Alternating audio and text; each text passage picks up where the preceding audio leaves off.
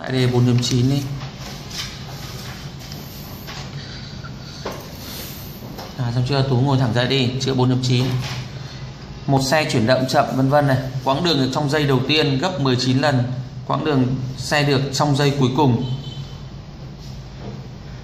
Đọc đề phải nghe hơi sai sai.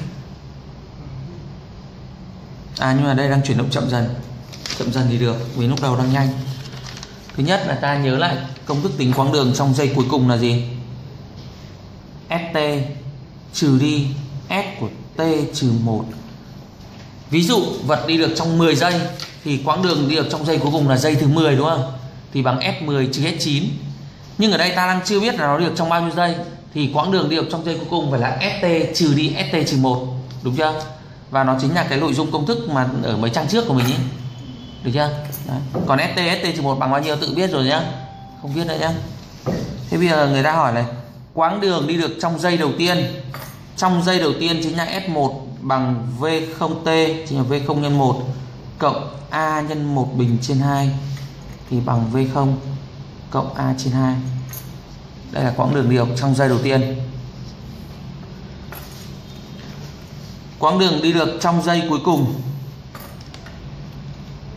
st trừ st trừ 1 bằng gì? V0t cộng AT bình trên 2 trừ đi V0 nhân với T trừ 1 trừ đi A nhân với T trừ 1 tất cả bình trên 2 đúng không? Ta khai triển ra nhé bởi vì ta sẽ thấy được cái này chỉ tiêu bớt đi mà, đúng không? Bằng này V0T với V0T chỉ tiêu rồi, thì còn lại một lần V0 đúng không? V0 cái này khai triển thức ra là được cái gì? AT bình trên 2 với AT bình trên 2 chỉ tiêu này. Trừ hai lần gì A, mà thêm dấu trừ lên thành cộng 2A đúng không? Cộng 2A trên 2 thì thành là cộng A. Cộng 1 mà nhân với gì trừ A thì còn là trừ A trên 2 đúng không? Đúng chưa? Thì A mà trừ A trên 2 có phải còn A trên 2 này không? Cho làm tắt nữa, em hiểu không? Làm tắt cho ai hiểu không? Khai triển đẳng thức đề ra thôi. Xong lấy cái at bình trên 2 này, trừ đi cái chỗ này. Đúng chưa? Thế vào đi. Tú hiểu không? Chỉ là nhẩm tắt cái chỗ hàm hàng đẳng thức thôi mà. Và người ta cho cái trên thì bằng 19 lần cái dưới. Kiểm tra lại xem là như vẻ sai sai ấy. sao lại thấy giống S1 thế nhỉ? Viết thử lại đã. AT bình trừ đi 2AT ừ, đấy trừ 2AT cơ chỗ này bị sai rồi. Tại nhầm ra không nhân với T. Cộng 1 cộng A trên 2 trên 2 ta thiếu mất cái biểu thức này. Cộng A trên 2 trừ đi AT chỗ này là t bình trừ 2t cộng 1 mà đúng không? Nhân a vào phải là at bình trừ 2at cộng a. Cộng a thì đây phải là trừ a trên 2 trừ 2at thì đây phải là cộng at rồi xong chưa? Trừ a trên 2 nhé. Vì chỗ này là trừ 2 a à, cộng với a bình à, cộng một bình mà đúng không? Thêm dấu trừ với trước phải là trừ a. Nào được chưa? Đến đây hiểu chưa? Ok tiếp nhá. Nào dưới chép được chưa? Người ta cho S1 thì bằng 19 lần cái S dưới này đúng không? Người ta có phương trình thứ nhất này. V0 cộng A trên 2 bằng 19 lần. V0 trừ A trên 2 cộng AT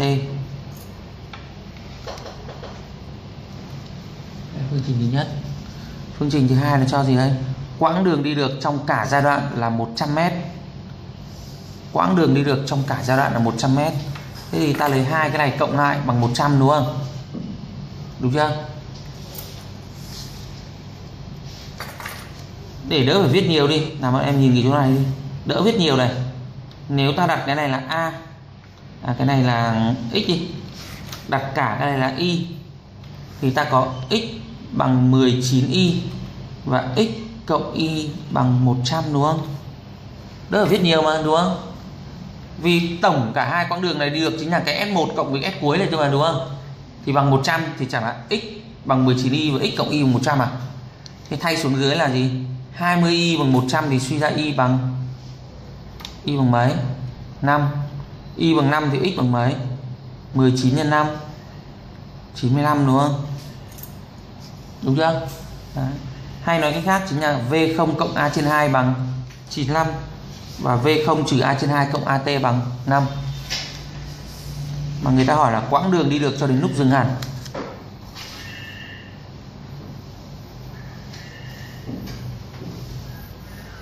Quãng đường đi được cho đến lúc dừng hẳn tính như nào? Thế là tính cái S tổng đấy, đúng không? Phương hiểu chưa? Thế bây giờ quãng đường được đến lúc dừng hẳn là S bằng V0T cộng AT bình trên 2 Đây nó bắt tính cái này này.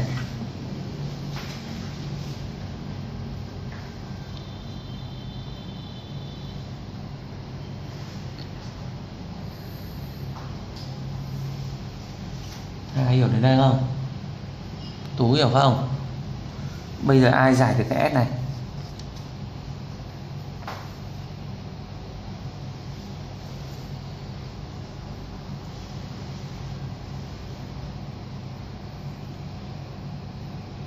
Ai giải được. Hai dòng nữa là xong.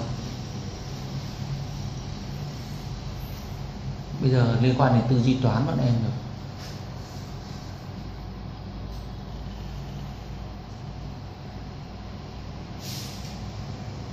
Duy Anh. Tự nhiên trên lớp kiếm được điểm nào chưa? Gì Không kiếm đi. Để cho nó cái điểm bằng đỡ phải sau này kiểm tra miệng nhiều. Nào Phượng. Giải như nào? Con này phải tư duy ra Chứ đừng có ỉ lại. Rõ ràng phương trình ta đang ba ẩn là V0AT nhưng mà để giải được các phương trình mà ví dụ như ba ẩn thì phải ba phương trình đúng không? Hai ẩn thì phải hai phương trình. Nhưng ba ẩn mà hai phương trình ý, thì nó sẽ có sự đặc biệt. Nguyên tắc là thế.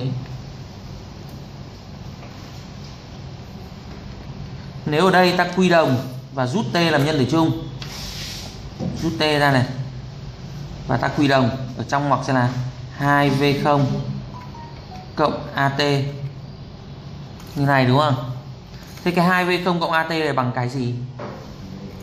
Em để ý này, nếu lấy cái x cộng y nhá, nếu lấy x cộng y này, hai cái này triệt tiêu chưa? Thì ra được 2V0 cộng AT không? Đúng không? Thế thì 2V0 cộng AT chính là x cộng y đúng không? Mà x cộng y bằng 100. Như vậy, cái chỗ này sẽ bằng 100 chia 2, 50T. Nó sẽ bằng 50T. Thế bây giờ ta phải đi tìm nốt cái T bằng bao nhiêu?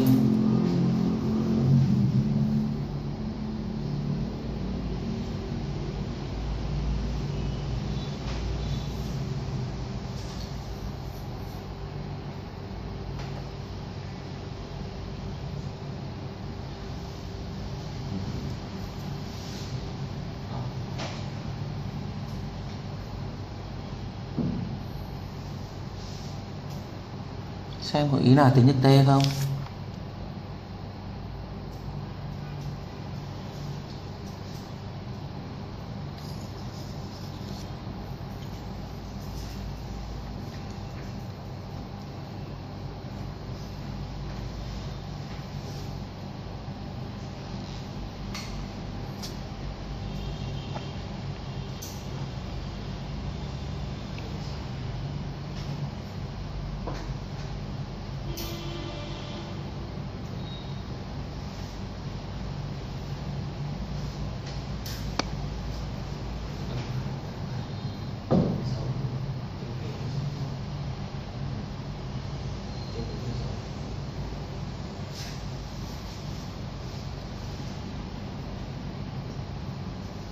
Sao?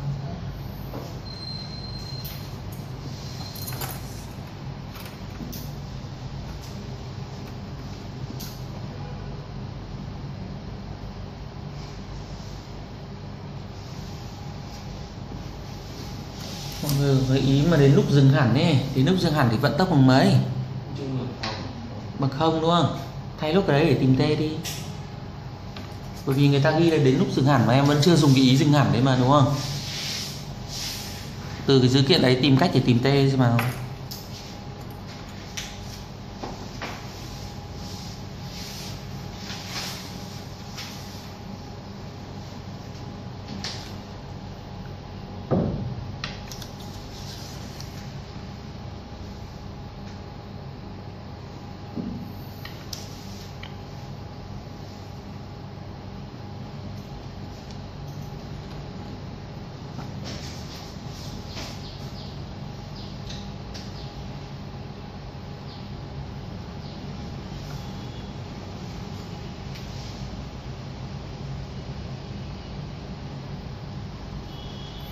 Dùng thức V không à V bằng V không cộng AT ấy.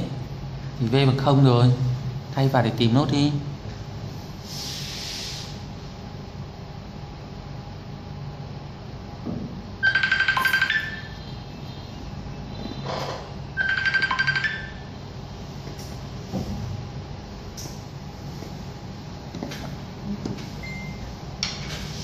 Phượng thấy được không?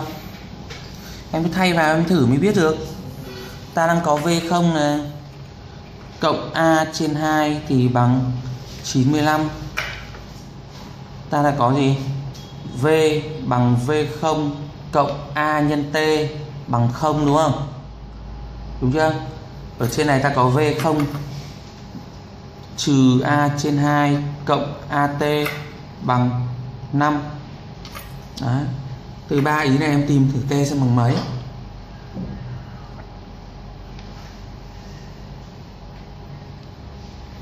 Có phải em nhìn này nhìn cái bảng đi chỗ này rất dễ thôi bọn em không tinh ý thôi. V0 cộng at bằng không đúng không?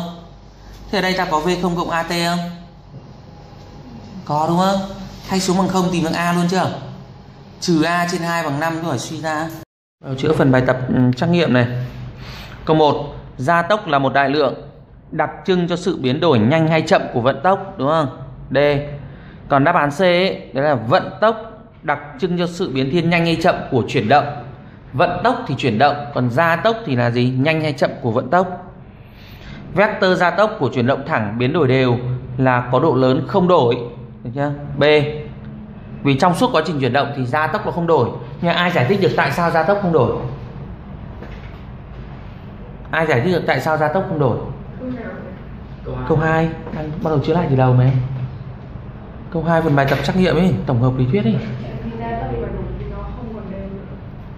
Ai bảo em thế? Ai bảo thế? Ra tốc đổi lại bảo không là đều.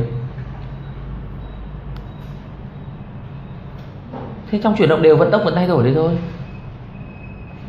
Đúng không? Vận tốc của em đang tăng dần hoặc giảm dần nhưng mà nó vẫn đổi đấy thôi. Thế nội cũng không là đều à? Ừ, nhưng mà tại sao vận tốc lại thay đổi? Vì em bảo là vì nếu nó thay đổi thì không còn đều nữa nhá đúng không? Ok nhưng mà nó không rõ nghĩa, bởi vì sao? Ta thấy vận tốc vẫn thay đổi mà ta vẫn gọi đây là chuyển động đều mà. Em phải xuất phát từ biểu thức gia tốc bằng gì? A bằng gì? Delta v trên delta t, đúng không? V2 trên v1 trên t2 trên t1 ấy. Mà trong chuyển động biến đổi đều thì sao? Vận tốc vẫn thay đổi, nhưng nó thay đổi những khoảng như nào? Những khoảng bằng nhau, trong những khoảng thời gian bằng nhau, đúng không? Có nghĩa là cái tỷ lệ delta v trên delta t ấy, trong một khoảng thời gian là sẽ giống nhau. Do đó dẫn đến là a là không đổi. Đúng không? Câu 3 nhìn vào phương trình chuyển động thì sao? Ta thấy v cả a đang nhỏ hơn không? Thì suy ra chậm dần. Mà muốn v đang là 15 lớn không thì phải theo chiều chiều dương đúng không? Còn nếu mà theo chiều âm thì v ngược lại v ngược lại nhân với a âm thì lại thành dương đúng không? Như vậy nó phải chuyển động gì? Nhanh dần. Như vậy là chậm dần theo chiều dương, rồi nhanh dần theo chiều âm. B.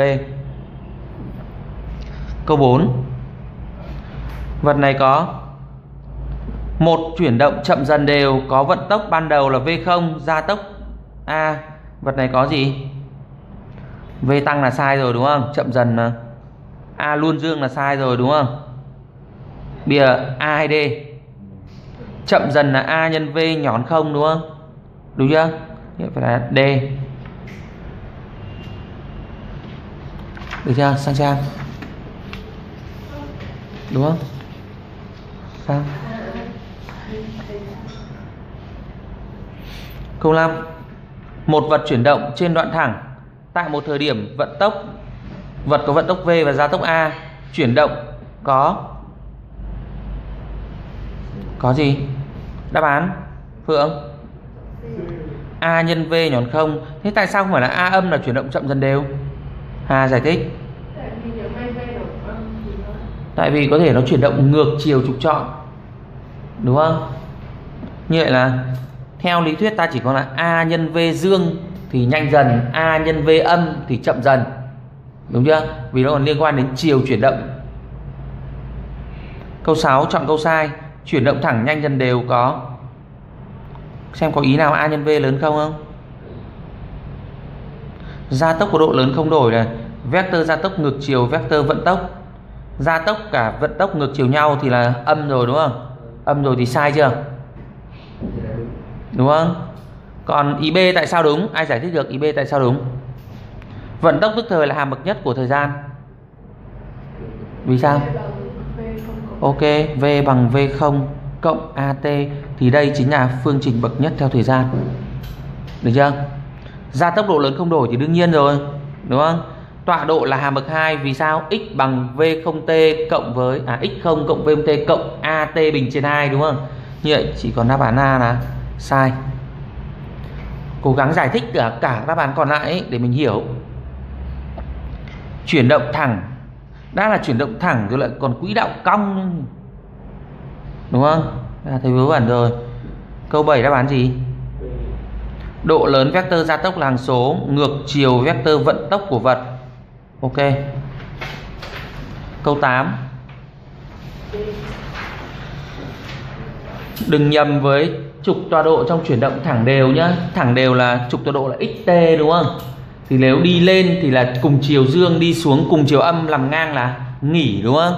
Còn đây là trục tọa độ là vt thì nếu đi ngang mn thì là chuyển động gì? Thẳng đều. Mn là thẳng đều thì cái đoạn mn này có gia tốc bằng không? Đi xuống là chậm dần đều thì gia tốc nhỏ hơn không? Còn đi lên là gia tốc lớn hơn không? Được chưa? Đấy, nhưng mà mọi người phải chú ý cái trục tọa độ là vt với xt là khác nhau thế người ta hỏi chuyển động thẳng dần đều trên đoạn nào? Thẳng dần đều thì đoạn là pq đúng không? Đi lên là nhanh dần đều, đi xuống chậm dần đều, làm ngang là thẳng đều. Được chưa? Câu 9 chọn ý sai.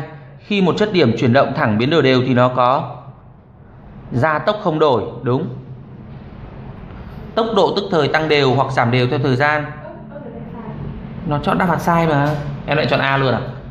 Chọn đọc A thì đúng, không thèm đọc con sao dưới. Gia tốc tăng dần đều theo thời gian. Nó toang rồi. Gia tốc làm sao tăng dần được, đúng không?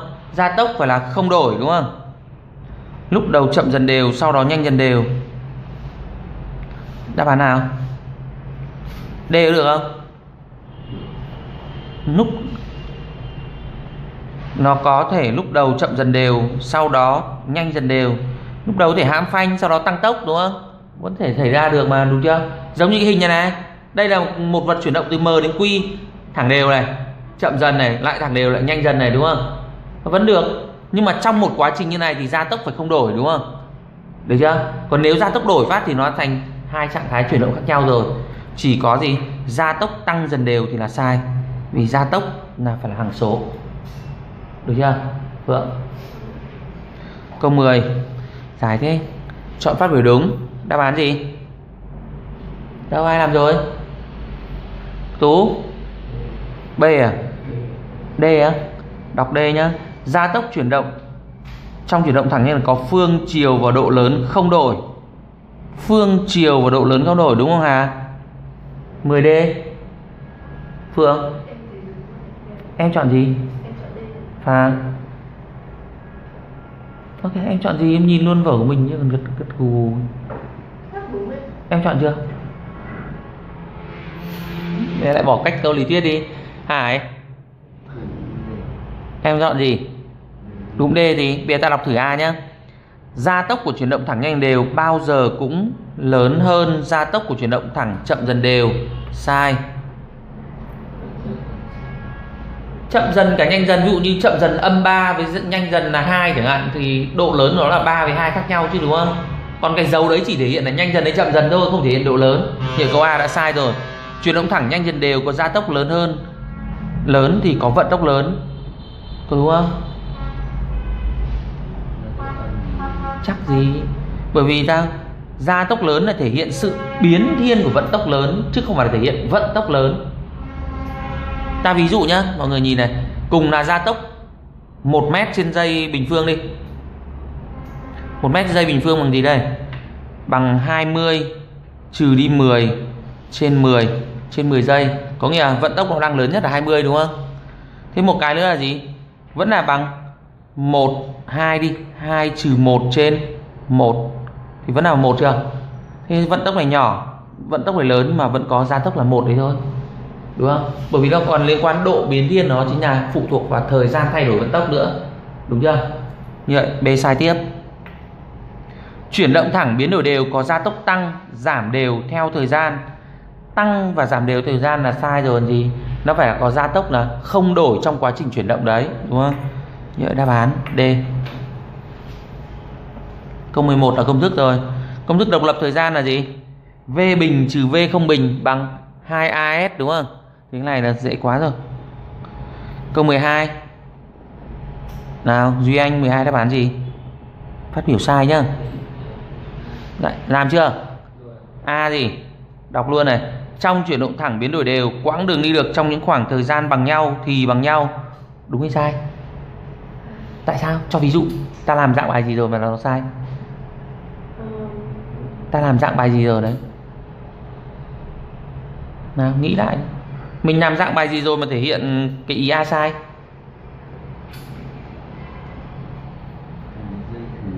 Đúng rồi, trong giây đầu tiên và trong giây cuối cùng ấy, vẫn là một giây đúng không? Nhưng quãng đường khác nhau chưa?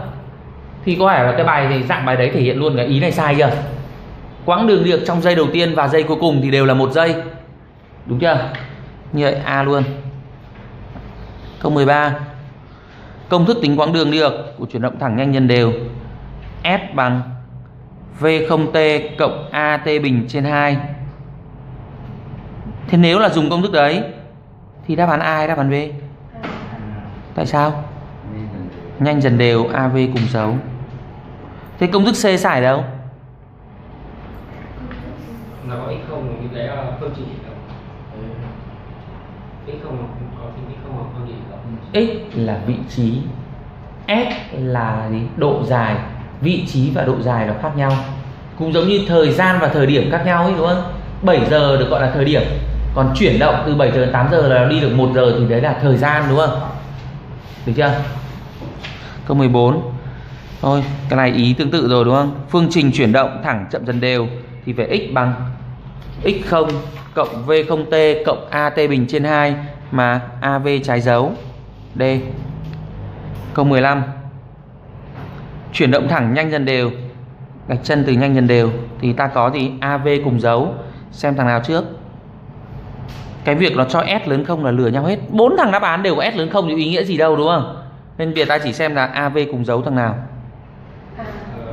A thế đáp án B thì sao?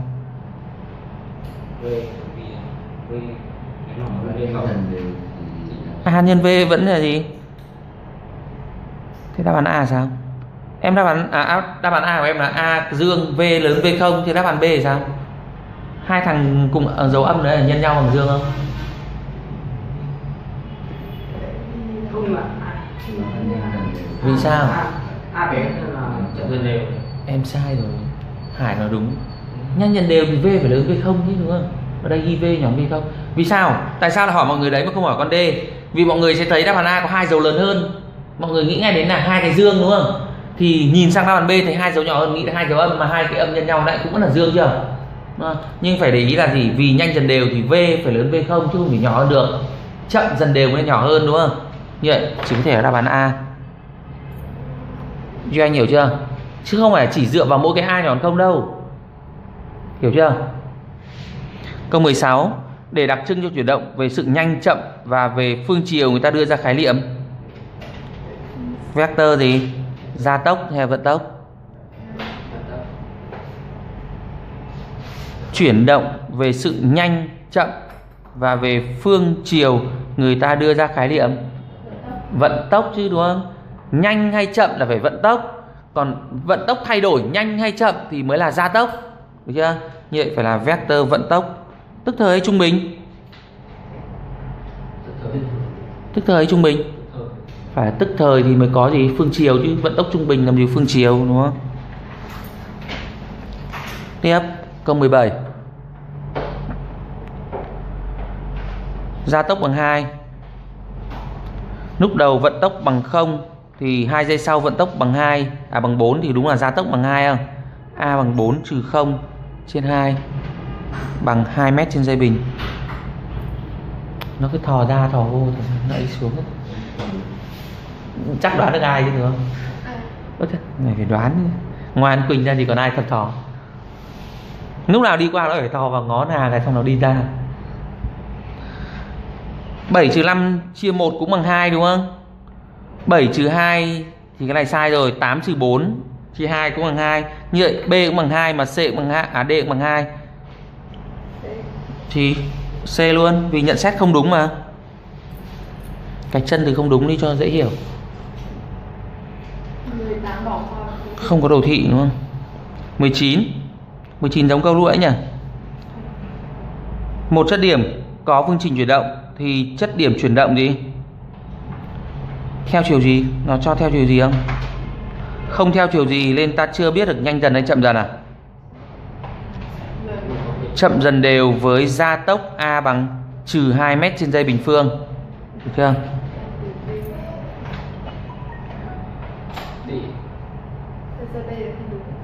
Chậm dần đều với vận tốc là v0 bằng 5 mét trên giây.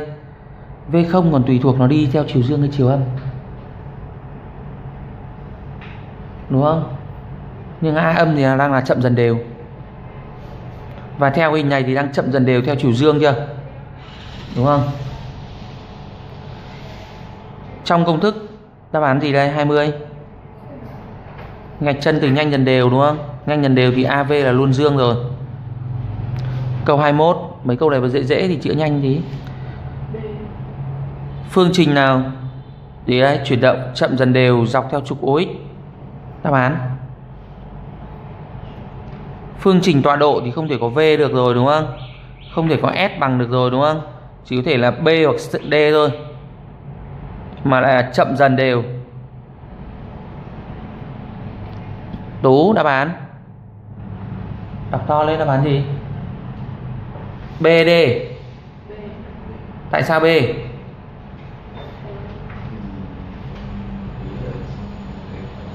Em nói tốt. Cái gì? Em phải giải thích được tại sao Phượng tại sao B? Em chọn gì đã? Em chọn D. Ờ tại sao D? Vì em nhìn thấy trừ T bình đúng không? Đúng không? Thế nếu là trừ T bình nhá V0 của em bằng âm 5 A bằng âm 1 Thì V nhân với A Có phải lớn không không Thì nó phải nhanh dần đều chứ, đúng không? Chỉ có thằng này là gì? V bằng âm 2 A bằng 5 thì V nhân A. Nhỏ hơn 0 Thì là chậm dần đều. Được chưa? Đấy. Vẫn bị lừa như cái đấy. Tiếp tục này, Biểu thức vận tốc tức thời. V phải bằng V0 Mà V0 thì bằng 5 rồi, đúng không? V0 cộng AT chắc chắn phải có 5 cộng rồi. Đáp án gì? À.